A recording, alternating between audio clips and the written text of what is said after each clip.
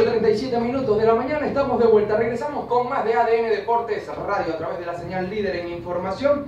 Somos máxima 105.3 FM, el 0416-496-0411. Ese será el punto para que ustedes puedan interactuar con nosotros, hablar acerca del Portuguesa Fútbol Club. Tenemos muchas interrogantes que seguramente nuestros panelistas, hoy metiendo los pies en el barro, podrán dar testimonio de lo que podría pasar en el Portuguesa Fútbol Club este semestre. Estaremos hablando también acerca de los fichajes, quién llegó, quién no llegó, quién debería llegar, por qué no llegaron y también tendremos mm, del testimonio del propio jugador Tulio Echemaite sobre su salida cerca del Portuguesa Fútbol Club. Raúl Eduardo Mendoza Rossi, muy buenos días y bienvenido. Muy buenos días a todas las personas que nos escuchan a esta hora por máxima 105.3 FM. Encantado de reencontrarme nuevamente con ustedes. Y mi inicio en el programa de hoy tiene que hacer referencia a los Juegos Nacionales que han sido movidos en dos ocasiones. Pues déjeme contarle que es prácticamente un hecho que habrá una tercera ocasión sabiendo las venideras elecciones presidenciales en los anuncios y las noticias que se han colado en la opinión pública estaban pautados para febrero, pero sabiendo todos estos detalles y todos estos adelantos con respecto a las elecciones presidenciales, no nos extrañe que muevan los Juegos Nacionales una vez más. Es casi también seguro, información del señor Raúl Eduardo Mendoza Rossi, la próxima semana estarían definiendo si mueven o no los Juegos Nacionales, hay unos Juegos Nacionales que ya tendrían casi un año en esa, en esa recorrida, en esa movida. Los buenos días para la señorita Mayra Delgado. Muy buenos días, William, a todo el staff de ADN Deportes y también a nuestra querida audiencia que un día más nos acompaña en nuestro programa ADN Deportes Radio. Yo le vengo también con una noticia regional y también que es referente a Indeport porque Johnny Lucena va a tomar el cargo como nuevo director de alto rendimiento de Indepor. Ya entre esta semana ya estaría siendo oficializado su nuevo cargo. Decirle a toda nuestra audiencia que también seguirá cumpliendo como el director deportivo del conjunto del Portuguesa Fútbol Club. Johnny Lucena, nuevo director de alto rendimiento y en las próximas horas o días se hará el anuncio oficial, compartirá con lo que tiene que ver la función en el Portuguesa Fútbol Club como gerente deportivo, el señor Luis Colmenares. Muy buenos días para ti, William, y para todo el staff de ADN Deporte y todas esas personas que nos sintonizan acá en máxima 105.3. Hoy voy a empezar eh, con un titular internacional, específicamente de Barcelona, España, donde el conjunto Blaugrana, el Barcelona Fútbol Club, despidió y su gente despidió de gran manera a un jugador que para ellos le dio mucho a este conjunto, como lo es el jefecito Javier Macherano, 15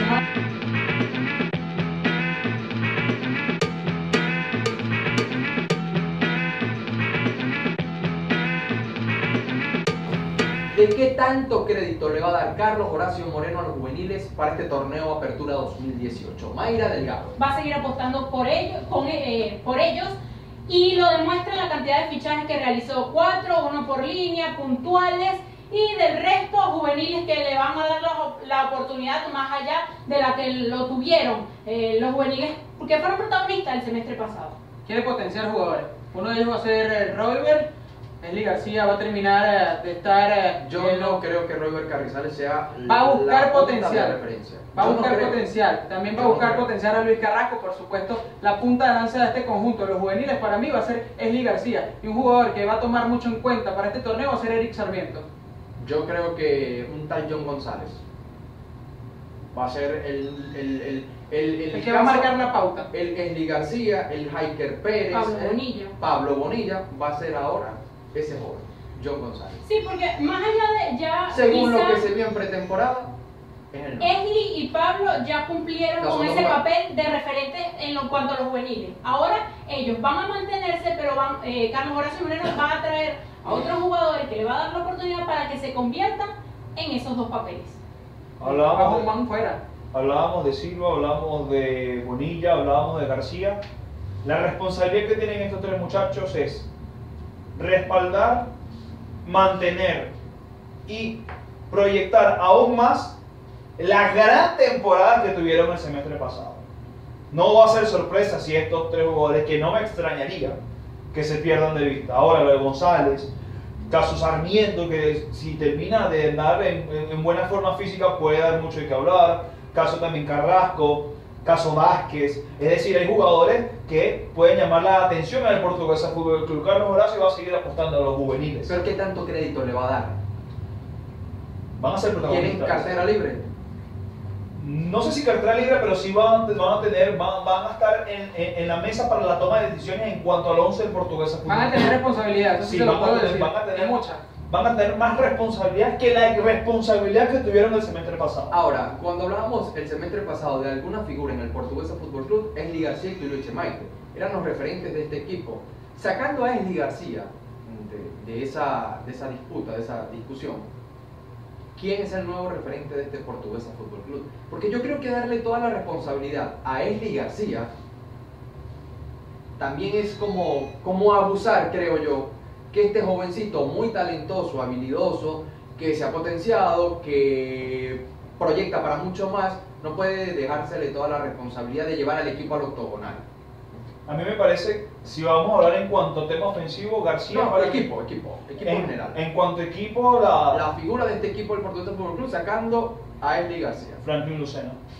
Para Franklin Lucena. Mendoza, Para mí, Franklin. Lucena. No concuerdo, no concuerdo porque, que porque el profesor Carlos Horacio Moreno en muchos momentos dijo que la pieza fundamental a la hora del volante de primera línea era Andrés Paco Hernández y le dio el espaldarazo y siempre lo mantuvo allí. Esa es su opinión, no la mía. Yo estoy diciendo que Franklin Lucena, si yo estoy diciendo que Franklin Lucena es porque le otorga la salida, porque se sube la camiseta, porque es el capitán, porque es el que da orden, porque es el que da control y porque la primera pelota es importante para ir de una zona como la de defensiva para luego pasar a la zona 2, a zona 3, No hasta llegar al otro campo. no es importante la función que cumple Paco en el equipo. Yo no estoy diciendo que Andrés Hernández no es importante. Está diciendo que la más importante es la de Franklin. Lucena, lo acaba de decir el señor Raúl Mendoza. No, no, no. Hoy Luis vino totalmente Desconectado, desconectado. Yo lo que estoy diciendo es que Franklin Lucena, para mí, por además de Esli García, es el referente del Portuguesa Fútbol Club y estoy explicando los motivos. Luis vino hoy a hacer periodismo de periodistas, Sí. únicamente a refutar todo lo que el señor Raúl Eduardo Mendoza dice. Yo estoy dando mi opinión.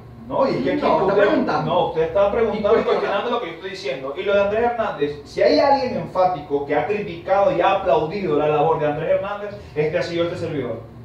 Es Me parece que es un jugador muy importante, que cuando anda muy bien, incluso en su momento, que creo que el mejor semestre fue con Renato Renauro, se le hacía recordar, aunque hay un gran grado de comparación a Tomás Rincón, por el corte y por la salida. Ahora, en cuanto a referente, además de Lucena, me parece que no hay ese jugador que termine de mm, enmarcar. Creo que ahora va a ser una labor realmente del colectivo, porque por lo menos... De hormigas. Sí, porque Bonilla, a Bonilla en este semestre que se le exige que tenga mayor proyección por el costado derecho y que los centros lo envíe de una manera más efectiva. ¿Qué se le exige a Javier Pérez? Que sea mayor- más desequilibrante y que, otorgue, y que otorgue ese cambio de ritmo que sea similar a lo que decía en las categorías inferiores. Que y mantenga momen- la línea de gol que tuvo en los últimos sí, tres partidos. que se le Eso es que exija se le va a pedir. que se le exija a Argel Silva pelota limpia y cuando tenga la oportunidad de defender, romper circuito. ¿Qué se le va a exigir a Católico Roja en el momento que pasen a Lucena, en el momento que pasen a Bonilla, en el momento que pasen a Luna? Usted sea la persona que nadie lo pase, me quiebre y así si usted mande la pelota al costado, la mande, me cumpla.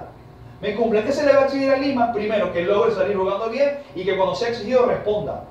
La, para mí, la filosofía de este Portuguesa Fútbol Club por encima de lo que es el, el juego limpio, el juego bonito de, de- de Carlos Horacio Moreno va a ser, y en gran responsabilidad, por Eduardo Lima. No es porque sea el guardameta nada más, no es porque sea el guardameta, es porque este año, tanto para Lima, tanto para Del Castillo, tanto para Hernández, tanto también incluso para lo que van a ser jugadores de, de referencia en este Portuguesa Fútbol Club con jerarquía, esta temporada va a ser una temporada de consolidación. Y si no es una temporada de consolidación, que jugaríamos a cómo va la temporada, muchos de estos nombres pudieran estar yéndose al final de temporada. Ahora pregunto a María Delgado que parece que vino hoy únicamente a escuchar a Raúl Eduardo Mendoza Rossi. Viendo el calendario de este portuguesa, arranca de local contra el Aragua, luego va contra Academia Puerto Cabello, luego recibe a Minero, luego tiene que viajar ante un desconocido Deportivo Anzuategui, luego recibe a Metropolitanos, cinco fechas. Viendo todo lo que hay, Minero no es fácil, pero del resto yo creo que son cuatro equipos para tú sacar el mayor provecho. El calendario del portuguesa da para estar en el octogonal. Sí, sí lo da. Y sobre todo, lo importante que va a ser esta fecha eh, la primera fecha, no solo porque es el primer partido de Portuguesa, sino fue eh, porque fue el único rival que enfrentó en pretemporada. Eso le sirvió al profesor Carlos Horacio Moreno para estudiar al, primer rival, el primer reto que vas a tener. Así que va a ser importante estos cinco eh, primeros partidos de Portuguesa no van a ser como las temporadas pasadas que pueden ser cinco partidos de prueba. Van a ser lo que va a significar estar o no en el octogonal final para el Portuguesa. Las últimas dos jornadas, Carabobo y Monagas. Fácil no es.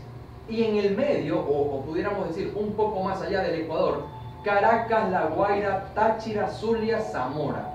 Yo creo que estos cinco partidos van a ser mucho más complicados por el hecho de que ya los equipos van a tener un ritmo de competencia.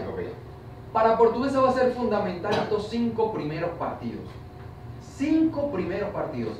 La audiencia que lo escriba, que lo anote, vamos a leer algunos mensajes. Primordial, William, porque la temporada pasada Portuguesa le ganó al conjunto del Aragua. Se vio bien ante el conjunto de Mineros. Le ganó al conjunto de Lanzuategui y empató con el conjunto de Metropolitano. La- al conjunto de la Academia de Puerto Cabello lo que se conoce es que perdió un partido 7-0. Voy. Portuguesa tiene que ganar. Tiene que ganar, por supuesto. Portuguesa ante Academia no puede, porque es un equipo recién ascendido, con todo el respeto que merece Academia Puerto Cabello, porque está en la Tiene que buscar el partido. Portuguesa no puede perder. Para, para contrastar eso, si portugués y el discurso octogonal tiene que empezar ganando Caragua. Ya, a la vuelta de la esquina. Es decir, de Ya. local tiene que hacerse fuerte. Claro. No puede ceder. De Tiene perder que ese primer partido con fuerte. Aragua, creo que empiezan todas las dudas. Eso lo vamos a hablar el viernes. Lo vamos a analizar más seguramente, seguramente, pero, pero mm, yo creo que todos los elementos, y por primera vez en mucho tiempo, mm, siento que se respira algo distinto, que, hay una Ambiente de triunfo concepción, desde hoy. no sé si de triunfo, porque hay una Un concepción... ambiente distinto a Sí, las temporadas A las pasadas. temporadas pasadas. En las temporadas pasadas que si llegaba el jugador a falta de una jornada, llegaba lesionado, que hay que recuperarlo, que no estuvo en la pretemporada, que tantas cosas que pasaban en el Portuguesa Fútbol Club, que creo que ahora hay un, repito, aire distinto. Yo tengo. No sé qué dice la audiencia a través del 0416 496 0411, voy a repetirlo, 0416 496 0411. Allí participarán por una de las dos entradas que estaremos sorteando para el día domingo. Raúl Eduardo Mendoza Rossi. Cortico. La gente está ilusionada. La Sí, gente está creo ilusionada. que lo de la iluminación ha ayudado mucho a ello. Leemos algunos mensajes. Buenos días, saludos. El partido es el domingo el lunes, como salió en la prensa. ¿Qué valor tendrán las entra- entradas? Juan González desde el túmulo. Pasó lo siguiente. Se anunció primero que era el sábado. Información oficial del equipo. Se publicó que era el sábado. El día domingo, luego se publicó y también que sería el día lunes. Porque lo dijo. Esteban, Esteban Trapiero. el director, el presidente de TLT, el encargado de lo que es la transmisión del compromiso. Y ya luego, sí, finalmente, luego de todas las reuniones y todo, y el, el establecimiento de los horarios, domingo 7 de la noche. Domingo 7 de la noche en el Estadio General José Antonio Páez. El valor de las entradas todavía no ha sido definido, se estima, se proyecta, esto es una información extraoficial de William Torres, son de 50 bolívares para la entrada techada, la principal. Para la popular se habla de entre 20 y 25. Estos no son los precios. Esto es extraoficialmente por estos montos estaría la entrada a los juegos del Portuguesa Fútbol Club. Se habla que estarían llegando dos fichajes al Portuguesa y cuál será el precio de la entrada. Ya dimos lo de las entradas, dos fichajes.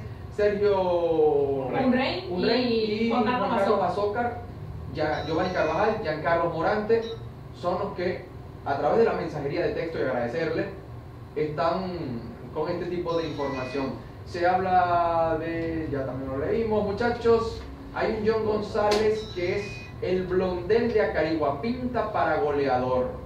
La cantera del Portuguesa va en ascenso, la oportunidad de titulares se apuesta a ganar Rubén Perosa. El programa de hoy fue excelente, felicitaciones Joander Bracamonte participando por las entradas. Yo apuesto a nueve puntos en los cinco primeros partidos como mínimo. Yo quiero más de nueve puntos. Yo también. Yo considero que esta temporada será la de los sacrificios. Tengo la certeza de que si algo va a tener este equipo será mucho sacrificio. Chicos, es la clave para ganar los cuatro juegos. Mm, De esos contra Mineros buscar un resultado favorable. A Mineros hay que ganarle. Hay que cambiar también la mentalidad. Claro. Que A Mineros hay que y decide. No, no, no, no. A Mineros hay que ganarle porque es Sí tu casa. sí. Así de Si sencillo. quieres entrar al octogonal, Hay que ganar en casa. Porque si no, imagínate, cuando venga Lara hay que buscar un resultado contra Lara, cuando venga Monaga hay que buscar un resultado esas cosas no tienen que pasar.